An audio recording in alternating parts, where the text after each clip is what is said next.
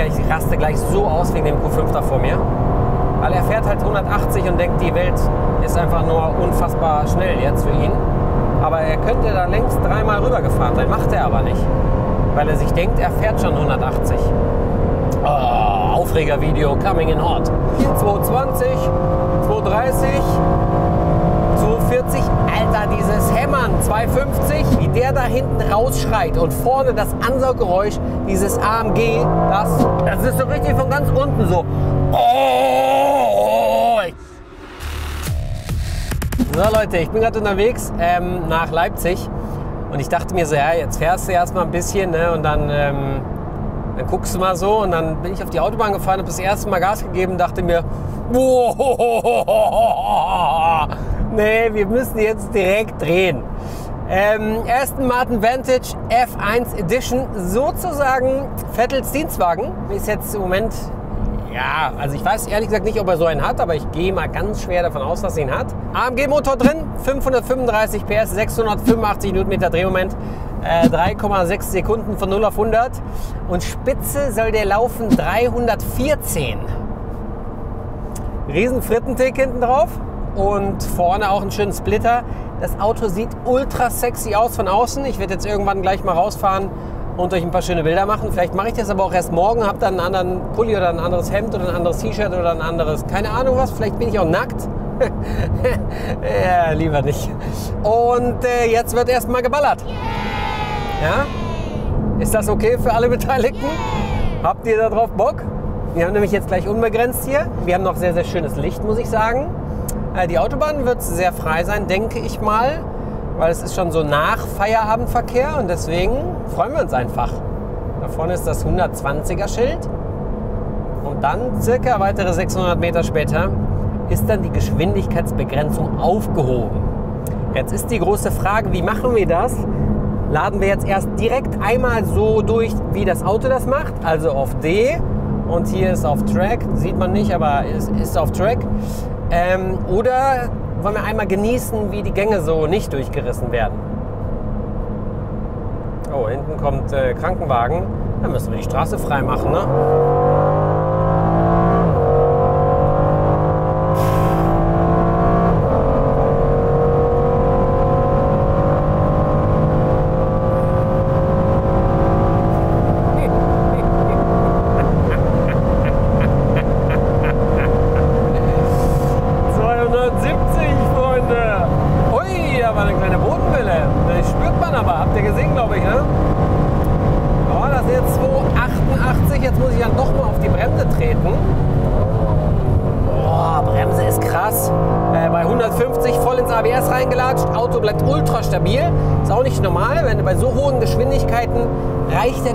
Kleinste Unterschied. So ein bisschen eine leichte Staubschicht, weil du ein bisschen weiter links drüben fährst als alle anderen, die vorher gefahren sind und dann hast du schon quasi Mühlsplit, also quasi unterschiedliche Reibwerte und schon wird es gefährlich beim Bremsen.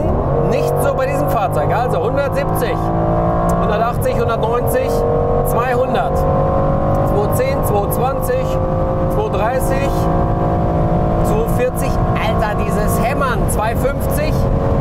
Dieses Hämmern von diesem Motor, das ist schon wirklich absolut grandios wie der da hinten rausschreit und vorne das Ansauggeräusch, dieses AMG, das, das ist so richtig von ganz unten so. Oh, ich kann sogar, so tief kann ich gar nicht. Er ist so ganz tief, hohl, kehlig, also ganz wie so ein ganz, ganz, ganz tiefer, zufriedener, langgezogener, tiefbassiger Rülpser. So hört er sich an. Mega gut. Gut, jetzt haben wir leider schon wieder die Begrenzung. Ich hätte euch gerne noch ein bisschen mehr entführt.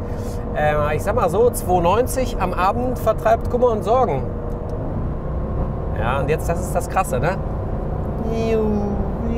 Überholen einfach alle. Was ist los? Gelten für euch die Geschwindigkeitsbegrenzungen nicht? Diverse Menschen, die heute den Tag mit mir verbracht haben, haben schon festgestellt, dass ich heute im Allmann-Modus unterwegs bin, im Kritisiermodus. Es sind so diverse Sachen passiert. Ich bin mit dem Fahrrad gefahren und auf der Wiese saß äh, ein Hund mit gekrümmtem Rücken. Alle Tierliebhaber wissen, was der da gemacht hat. Der hat dann mich hingekackt. Und dann habe ich so von meinem Fahrrad, weil ich gesehen habe, dass der Typ, weißt du, normalerweise Hundebesitzer, die das ernst nehmen, das Thema, die haben dann schon die Tüte in der Hand, während das Geschäft verrichtet wird. Und der stand da so mit seinem Handy am Daddeln und hat in der linken Hand nichts gehabt, außer die Leine. Und ich habe nur rüber geschrien, hör mal, aber machst du nachher schön weg, das Wolfchen, ne? Kann man machen, muss man aber nicht. Weiß ich selber, dass man das nicht muss. Aber ich habe manchmal so Tage, da muss ich so, da bin ich so ein Bestimmer und so ein Nervklaus und sag allen, was sie zu tun und zu lassen haben.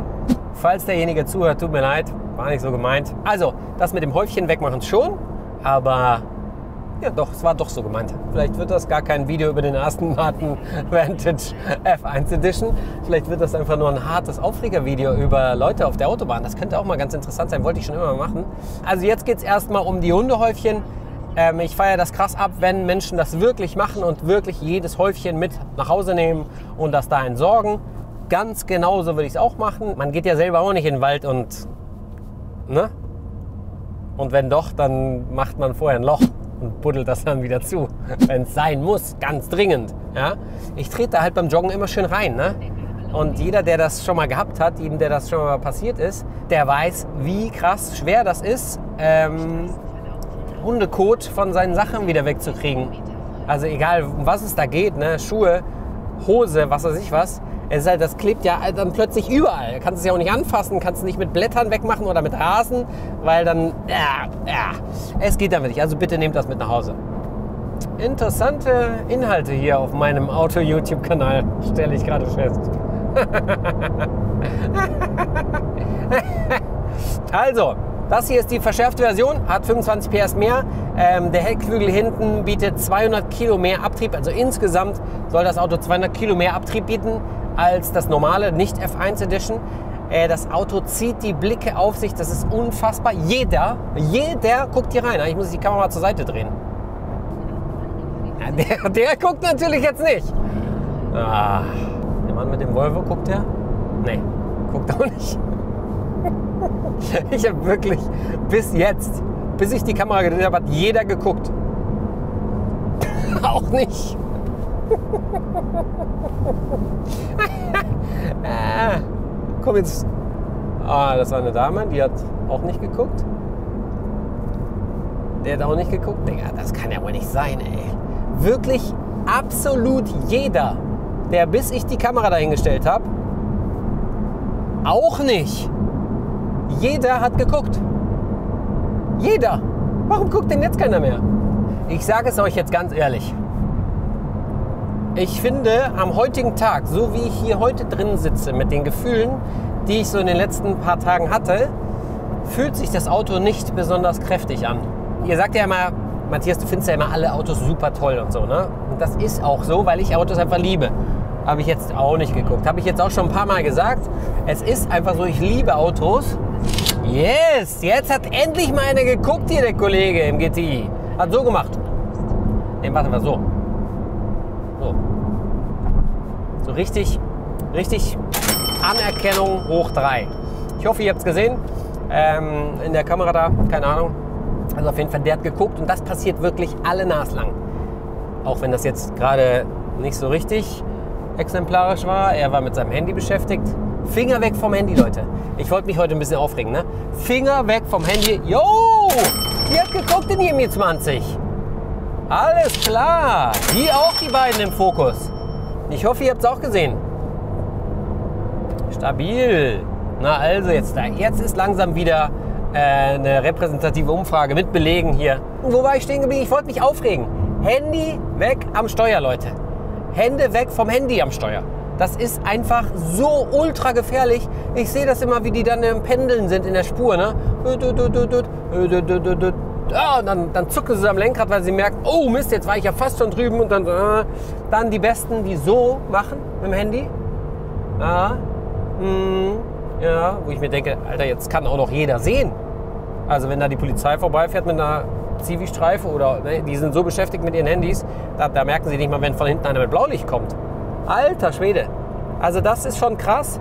Ähm, deswegen bitte, bitte, bitte, bitte ist meine eindringliche Bitte, Nehmt die Hände weg vom Handy. So, Abendsonne, Autobahnromantik. Jetzt wollen wir uns das Auto mal von außen angucken. Ähm, ihr seht das, ne? der ist matt und ähm, sieht einfach nur ultra scharf aus. Guck mal hier, so einen grauen ähm, Balken dahin gemacht. Dieses Aston Martin Grün ist schon wirklich sehr, sehr sexy. Dass man nur so die Farbe. 21 Zoll, harter. Oh, dieses Auto sieht so super sexy aus. This is kind of what me likes.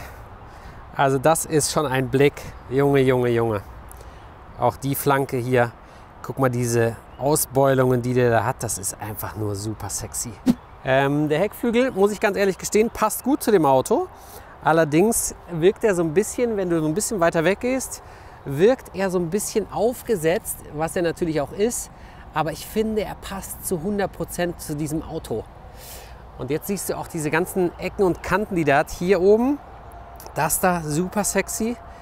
Dann hat er hier diese lange Kante, die von diesem ja, Luftauslass da hinten kommt. Da so, boom. Dann kommt da diese lange Kante. Und hier diese Finne noch so Haifischmäßig ultra sexy. Ah. Ja, sieht schon gut aus, ne? Sieht richtig, richtig gut aus. Dann machen wir gleich weiter. Habe ich auch, das war auch heute eine Situation, wo derjenige, der mich heute ähm, über den Tag hin begleitet hat, gesagt hat, Junge, was ist denn mit dir los? Bin ich mit diesem Auto gefahren und fahre hinter so einem Typen her mit einem X3. Schön am Piefen, ne? immer schön am Rausaschen. Ich hatte das Fenster unten und mir fliegt die Asche gefühlt in mein Auto. Wahrscheinlich ist sie nicht in mein Auto reingeflogen, aber ich habe ja halt gedacht, warum?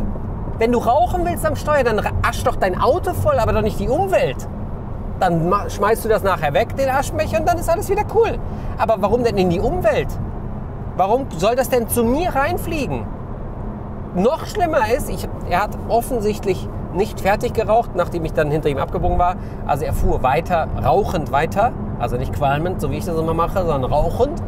Ähm, fuhr er weiter und hatte ähm, die Kippe noch nicht fertig geraucht. Und ich dachte, jetzt wirft er sie wahrscheinlich auch noch raus. Ja? Und dann können nämlich sehr, sehr lustige Sachen passieren, wenn dir so ein Ding nämlich reinfliegt und irgendwo angesaugt wird und dann fängt das irgendwie Feuer. Der Niki hatte mal so einen Fall. Müsst ihr den mal fragen. Fragt den mal bitte auf Instagram. Ähm, dem hat mal jemand wirklich eine Kippe reingeworfen. Ich glaube, äh, Luftfilter hat angefangen zu brennen. Könnt ihr euch vorstellen, was da los ist, was da für ein Luftzug ist? Und die hat auch geguckt. Toyota Auris. Props gehen raus. Ähm, und dann hat die ganze Karre Feuer gefangen. Weil jemand seine Zigarette aus dem fahrenden Fahrzeug rausgeworfen hat, dreimal aufgetitscht, rein, fertig aus ist die Laube, die Karre hat gebrannt. Also Nikis Auto hat gebrannt. Fragt ihn das bitte mal auf Instagram. Deswegen rauchen, Leute, geht sowieso nicht. Mindert euren Fahrzeugwert extrem, mindert euren Gesundheitszustand extrem und äh, mindert auch noch die Qualität des hinter euch herfahrenden Fahrzeugs wahrscheinlich auch noch hart, weil es einfach äh, heftig ist. Ja? Also bitte, das möchte ich auch nicht mehr. Und äh, es könnte sein, dass es jetzt noch weitergeht mit irgendjemandem. Ah, da sehe ich es gerade wieder. Die Kollegin im Ibiza sitzen ne, im Auto. Im Auto kann man, kann man folgendermaßen sitzen. Auch das habe ich schon 300 Mal erklärt. Man kann da so drin sitzen. Und es gibt Leute, die machen das wirklich, die steigen in ein Auto ein. Wenn ich das Lenkrad eingestellt habe, ist das meistens ganz draußen oder kurz vor ganz. Und dann stellen die erstmal das Lenkrad wieder rein. Taxifahrer auch. Immer. Immer. Dann sitzen die da und dann, dann denken die, das wäre eine sportliche Sitzposition, wenn die Arme so gestreckt sind. Ne? Wie soll das gehen, dass ihr so lenkt? Mit ausgestreckten Armen hast du keine Kraft. Aber sehr gerne. Zusammenhalt, gegenseitige Rücksichtnahme, gegenseitiger Respekt, das ist im Straßenverkehr angesagt. Auch wenn man 535 PS unterm Hintern hat. Ne? Also, so kann man auch noch nicht sitzen, weil wenn ich dann hier oben bin, so, dann ist auch schon fast gestreckt der Arm. Da kann ich nicht mehr, ich kann so nicht lenken. Ihr müsst mal den Niki angucken oder auch wir, wenn wir schneller runterfahren, sitzen wir fast so. Da hast du hier mehr als einen rechten Winkel. Und dann kannst du erstens Kraft ausüben und zweitens Schnelligkeit. Und das ist dann gefragt, wenn irgendwas passiert. Wenn du ausweichen musst, brauchst du Kraft und Schnelligkeit. Wir ziehen jetzt noch einmal durch, weil jetzt ist hier unbegrenzt. Aber jetzt kommt erstmal aus der 60er-Zone. Ich fahre 70 und der fährt schon 120.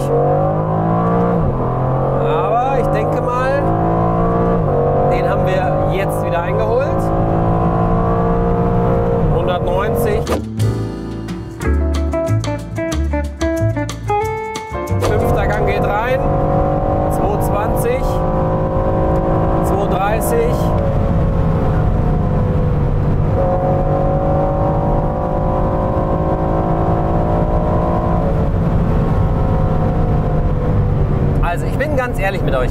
Ich finde heute an dem Tag, so wie ich es eben gesagt habe, fühlt sich das Auto für mich nicht so kräftig an. Es gibt einen ganz, ganz klaren und typischen Grund. Ich bin davor eine Woche lang Aston Martin DBS gefahren, der, wie wir alle wissen, 770 PS hat. V12 Turbo aufgeladen. Alter, da geht nichts drüber. Dagegen fühlt er sich hier an wie eine Luftpumpe. Also Gefühl. Das Problem ist, ich bin zwischendurch, fahre ich normalerweise immer Autos zwischen den Drehs, damit ich so ein bisschen runterkomme, ne? so mein Null-Level. Ähm, fahre ich normalerweise, Digga, ich raste gleich so aus wegen dem Q5 da vor mir. Weil er fährt halt 180 und denkt, die Welt ist einfach nur unfassbar schnell jetzt für ihn. Aber er könnte da längst dreimal rübergefahren sein, macht er aber nicht. Weil er sich denkt, er fährt schon 180. Oh, Aufregervideo coming in hot. Aston Martin DBS V12 Biturbo, das Ding schiebt unnormal krank an. Und dagegen fühlt der hier sich einfach ein bisschen, bisschen schlappi an, so ein bisschen wie müde, so ein bisschen wie gerade aufgestanden. Und du denkst so, warte mal, habe ich hier alles auf Sport? Habe ich das Gaspedal auch ganz durchgetreten, ganz sicher? Guck mal, der fährt immer noch nicht rechts rüber, ne? Oh, läuft die Kamera vorne? Ja, sehr gut. Also wir haben den Kollegen aus Braunschweig da drauf.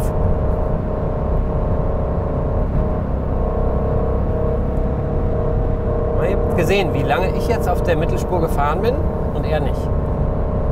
Das Schöne ist, hinter mir, die machen genau dasselbe. Die bleiben auch einfach links.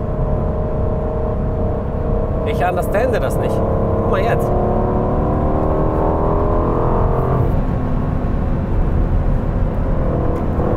Ihr, der geht nochmal rüber irgendwie? Ich will jetzt auch nicht zu aggressiv sein, weil so fährt man halt auch nicht Auto, ne? Hier ist das F1-Logo. Ah, guck mal. Schön hinter Carbon. Also das hier komplett Carbon.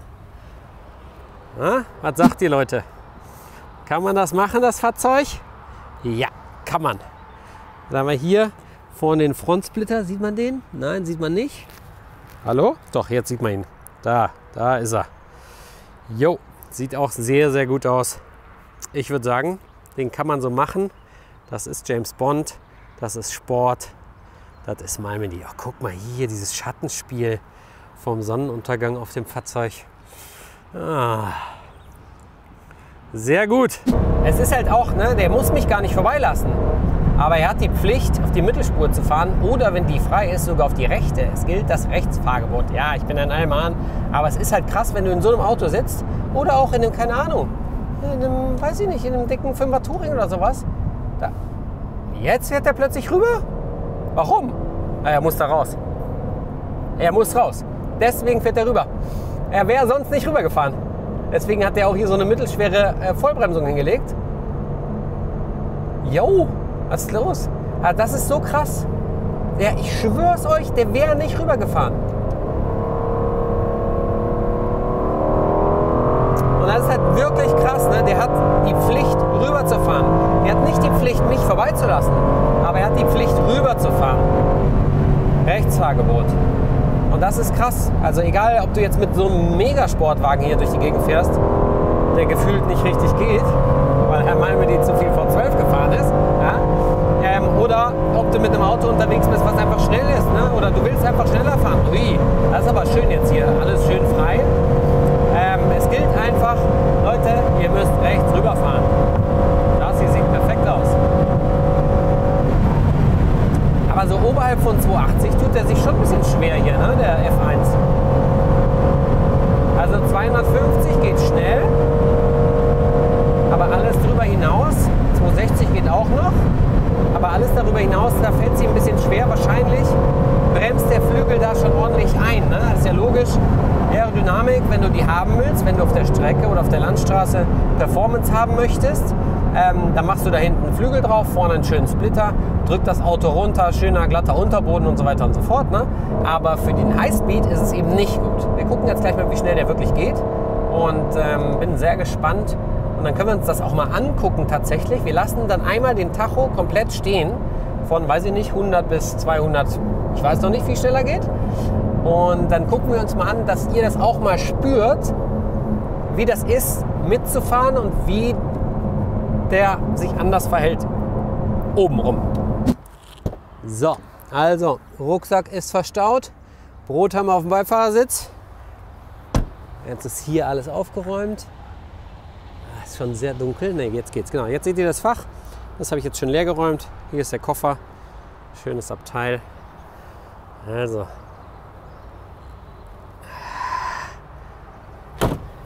So, los geht's. Jetzt gucken wir noch einmal innen rein, beziehungsweise machen wir erstmal Motor an. Ne, wir gucken einmal hier innen rein. Switch off Lights. Okay. Ähm, also hier ist die Kommandantenzentrale. Äh, Navi. Hier wird gestartet. D neutral rückwärts. P F1 Logo. Oh, guck mal. Da ist da noch, da ist da eine Folie drauf, oder? Ist da noch eine Schutzfolie drauf? Nee. Nee, ist doch keine Schutzfolie drauf. Ich dachte. Genau, dann haben wir hier von Mercedes das ganze Dingen. Vantage. Ja, so sieht der Tacho aus. Wollen mal anmachen? Nee, ne? wir gucken erstmal. Also hier haben wir ähm, das Aston Martin Logo. Hier haben wir ein Ablagefach. Da ist auch nochmal ein Ablagefach. Ähm, genau. Kamera, Radio, Media und so weiter und so fort. Kann man alles einstellen. Ähm, Navi-System von Mercedes ist ein bisschen in die Jahre gekommen, aber funktioniert vor allen Dingen. Das ist sehr, sehr gut. Und dann würde ich sagen, schmeißen wir den Motor mal an, oder? So, hier ist die S-Taste. Da gehen wir. Ah, wird das schon laut. Warte mal. Wird lauter direkt. Also S. S Plus. Schon viel, viel kerniger.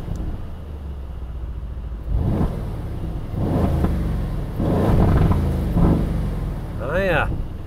So, wie machen wir das jetzt? Äh, ich lege euch hier einmal hin und dann könnt ihr euch einmal den Sound anhören, ja?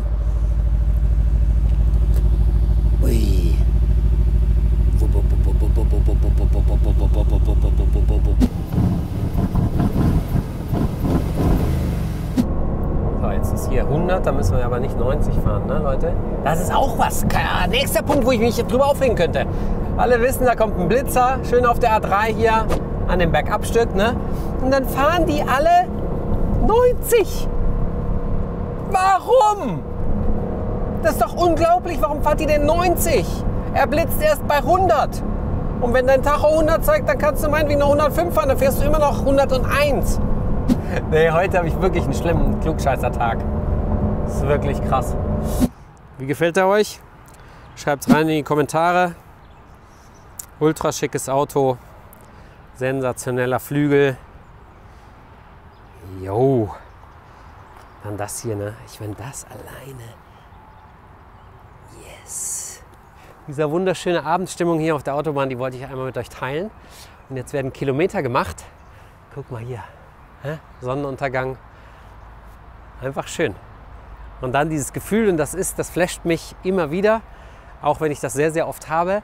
Aber mit so einem Auto dann nachts fahren zu dürfen, das ist für mich Freiheit, das ist für mich auch das Schöne an diesem Job, einfach mit so einem Ofen schnell fahren zu dürfen, die halbe Nacht lang. 530 Kilometer habe ich vor mir.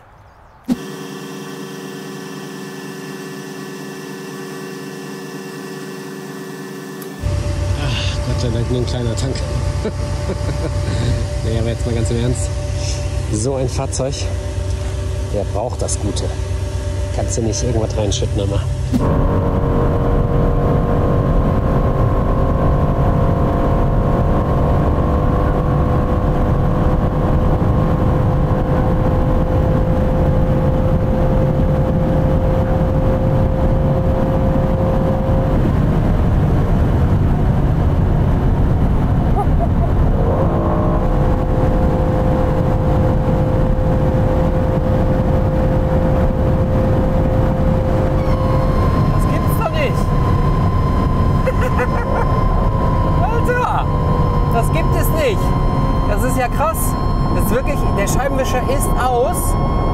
Bei 293 plötzlich an. Jedes Mal klappt der Scheibenwischer nach oben. Man kann mit dem Auto nicht schneller als 290 fahren, weil dann der Scheibenwischer aufgeht und dann geht er über die Scheibe hinweg. Das gibt es doch gar nicht. Und mit dieser furchtbaren Enttäuschung müssen wir dieses Video leider beenden, denn wir können nicht 314 fahren. Ich weiß nicht warum, aber es ist so. Das ist wirklich, der Scheibenwischer ist aus und der geht dann plötzlich an. Egal. Also zusammengefasst nochmal. Aston Martin Vantage F1 Edition sollte man nur bei Trockenheit fahren und nicht über 293, glaube ich. Ist ansonsten ein super geniales Auto. Es macht ultra viel Spaß auf der Autobahn. Reisen damit ist einfach ultra schön. Ganz entspannte Nummer. Und äh, ja, man sollte halt nicht über 290 fahren, weil sonst geht der Scheibenwischer an und dann piepst es. Und dann quietscht es. Und es pfeift. Das ist unglaublich. Ein Kritikpunkt ist tatsächlich das Licht. Also auf der rechten Seite sind ungefähr 70, 80 Meter beleuchtet. Aber hier links, was auf der Autobahn ja auch wichtig ist, ähm, sind nur 50 Meter, 40, 50 Meter beleuchtet. Und man muss eigentlich, wenn man schneller fahren möchte, das Fernlicht anmachen, was aber nicht geht, weil dann blendest du die anderen Leute. Also das ist so ein bisschen seltsam, ehrlich gesagt, habe ich mit anderen Autos anders erlebt. Also das, das Licht leuchtet für mich nicht weit genug, das ist Fakt. Und wenn du jetzt das Fernlicht anmachst, dann ist alles hell, ist mega, alles gut, ne? Aber du kannst auf der Autobahn nicht permanent mit Fernlicht fahren. Deswegen, kleiner Kritikpunkt, Licht bei Nacht könnte man noch ein bisschen verbessern, dass es einfach weiter leuchtet. Äh, ansonsten ist das eine Bude, die sehr, sehr viel Spaß macht. 160, 170, 180, 190, 200. 230. Rüber auf die Mittelspur. 250, dann nehmen wir die linke Spur. 270. Und jetzt wird er halt so langsam wird's zäh. Jetzt haben wir 280 drauf. 285. Und jetzt kommt gleich der Scheibenwischer. Pass auf. 292. Jetzt bleibt der. 200, 300, yes, und es pfeift. Die Scheibenwischer sind so ausgeklappt. Scheibenwischer an, jetzt geht er wieder runter. Jetzt ist alles wieder in Ordnung. Also Leute, äh, danke fürs Zugucken. Bis zum nächsten Mal. Tschüss, euer James Bond. Bond. James Bond.